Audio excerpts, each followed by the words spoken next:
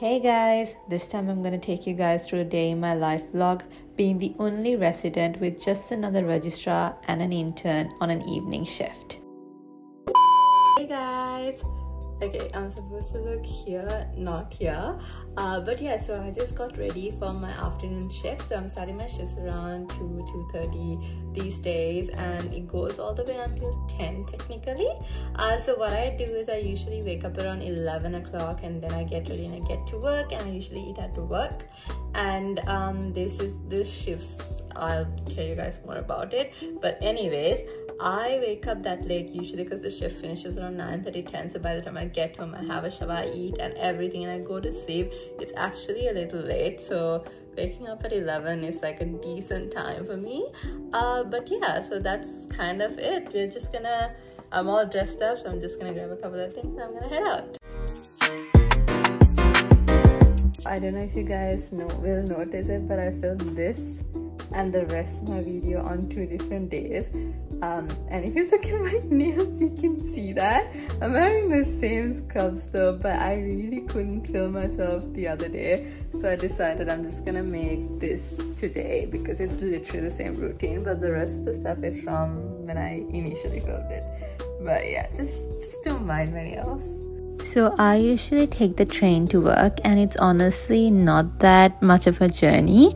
I get on the train, and it's about I think about 10 15 minutes, and then I have to get onto a bus, and that takes about 15 20 minutes as well. So, it's not too bad. And today was a sunny day, so it the weather's good, and when the weather's good, I honestly really don't mind taking public transport. But yeah, the hospital itself is not a very big hospital. It's called a subacute center, which means it's mainly patients who are stable.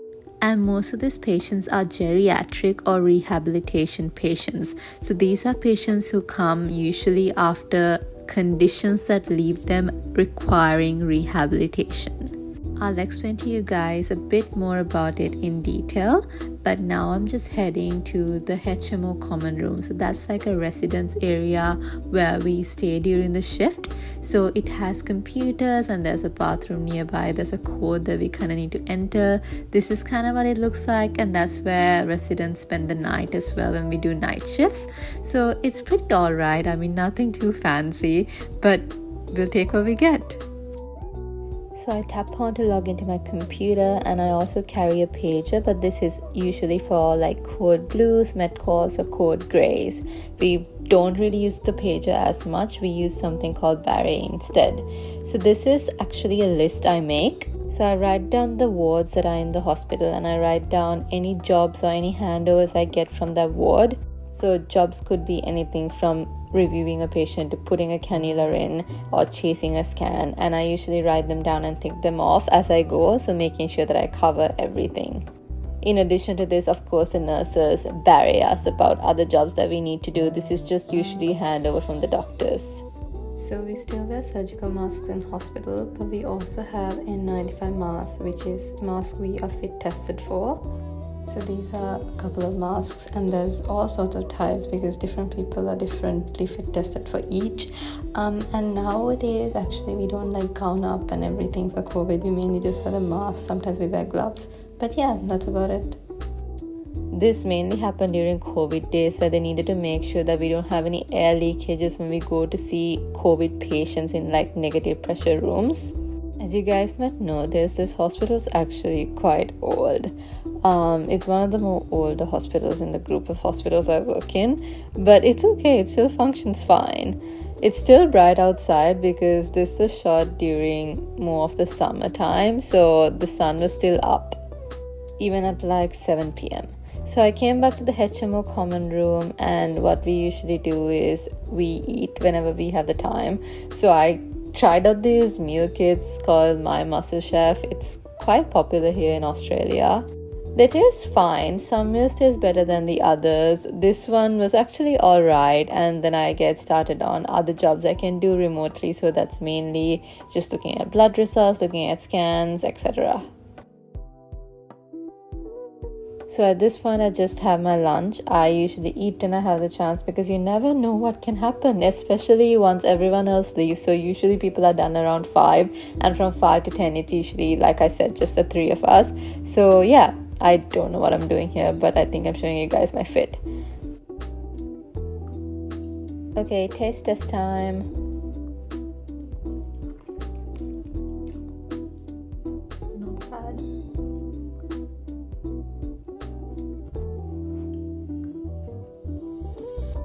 I was trying not to talk too much while I was in the HMO common room because you never know who's next door, and I don't want to sound weird talking to myself when actually I'm just recording myself.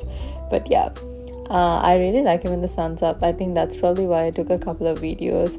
But yeah, now I'm just gonna call someone, see if I have to do any consults, basically helping out other teams. Anyways, like I was saying, this is a subacute hospital, so that means anyone who's very unwell cannot be treated here because these patients are supposed to be here for rehabilitation or they are geriatric patients, which are older patients who need discharge planning. And by discharge planning, we mean basically getting the patients back to a level of function where they can go home safely or where they can go to a aged care facility. So yeah, there's a lot of discharge planning that happens here, but we don't usually help out with that because we are only covering the after hours, which is the evenings. So I'm getting ready to do a cannula. A lot of people ask me whether doctors do cannulas here, and we actually do a lot of cannulas, especially in this hospital. Sometimes the nurses can do it, but most times we actually end up doing it.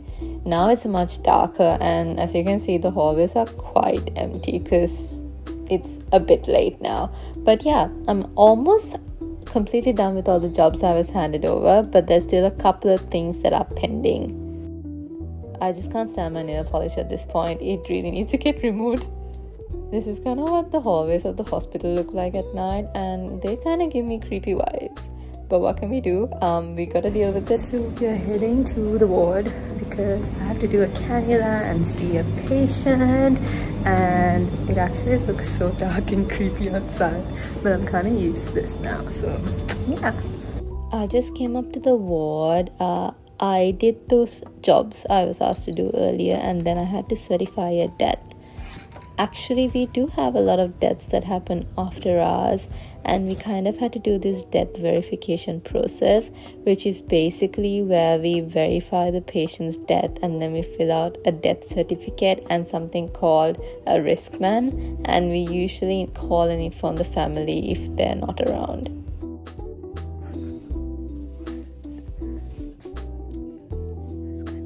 Also guys look at what i saw in like the stairwell yeah, that was kind of creepy. Honestly, I don't know where that leads to, but I don't want to find out. Just another fit check for you guys. I'm wearing all pink today. So I got a bit busy after. I had to see a couple of sick patients and I really couldn't record anything afterwards. But now my shift is done and I'm heading home after I handed over to the night HMOs. So the night team basically starts at 10 p.m. and they finish at around 8:30 a.m. So now it's dark, it's around 10 p.m., and I just call an Uber because I'm not gonna take public transport back home and I'm gonna enjoy my ride back home and sleep in. Honestly, the shift itself was not too bad. It did get a bit busy towards the end, but that's okay. These shifts are unpredictable, and I'm just happy to be going home. Hi, so I got home, I'm in my PJs, and I'm ready to go to sleep if you look at my eyes you can see that i'm super tired. Uh, but yeah another shift starts tomorrow so i'm gonna get some rest. I hope you guys enjoyed the vlog. And if you did like the video please give it a thumbs up and subscribe to my channel. I'll see you guys next time. Bye